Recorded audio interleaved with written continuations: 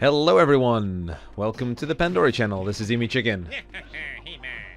Today we will show you how to get some OpenBOR games onto your EmuELEC system.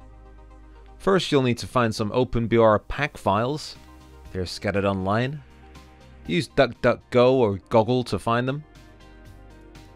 Then once you have a folder ready, we'll log into our Android EmuELEC box that is on the network by typing in backslash backslash EmuELEC then navigating to the OpenBOR ROMs folder.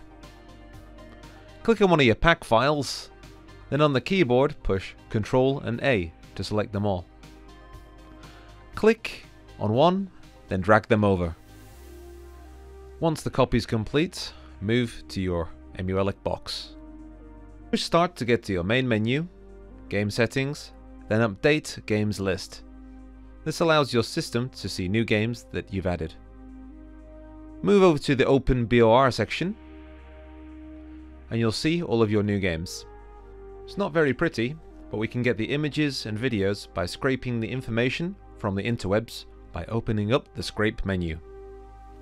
Push on scrape now, then go to start. This may take some time to get all of the information, but if you have any issues, you may need to log in with a free username and password I'll throw the link in the description. If you need to change the controllers, you can do so by checking out the options menu. But otherwise, you should be good to go. I'll leave you now with some gameplay, all running from the Super Console X, which is an Amlogic 905M.